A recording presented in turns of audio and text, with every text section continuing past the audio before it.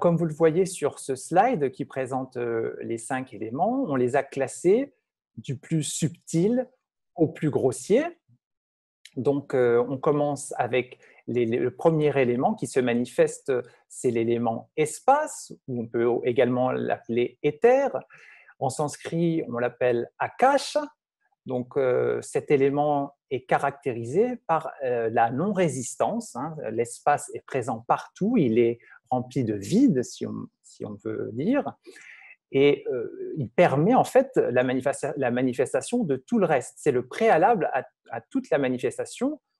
On ne peut pas avoir de manifestation s'il n'y a pas d'espace pour contenir la manifestation. Donc ça, c'est l'élément euh, primaire, primordial, le plus subtil, et qui est présent partout. Le deuxième élément qui va se manifester, c'est l'élément air. Et donc en sanskrit, on l'appelle Vayu. Et lui, sa caractéristique, c'est qu'il est, euh, à l'origine du mouvement. Il est caractérisé par le mouvement. Ensuite, on entre dans un troisième élément, un petit peu moins subtil, un petit peu plus grossier, qui se manifeste, c'est l'élément feu. Et cet élément, on l'appelle Agni en sanskrit. Et lui, sa propriété, c'est la transformation. Il va être, avoir une qualité de transformation. On arrive dans des éléments encore un peu plus denses avec le quatrième élément qui est l'eau, qu'on appelle apa ou jala en sanskrit.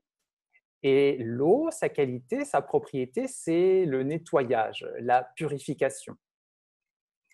Et enfin, on arrive au cinquième et dernier élément, le plus dense, le plus lourd, le plus grossier, c'est l'élément terre. En sanskrit, on l'appelle prithvi, alors, quand on prononce le mot, on voit bien que c'est quand même beaucoup plus dense, hein, prithvi, que quand on dit akasha, pour qualifier euh, l'espace. Il y a vraiment une différence de, rien que dans la prononciation euh, du mot euh, en sanskrit.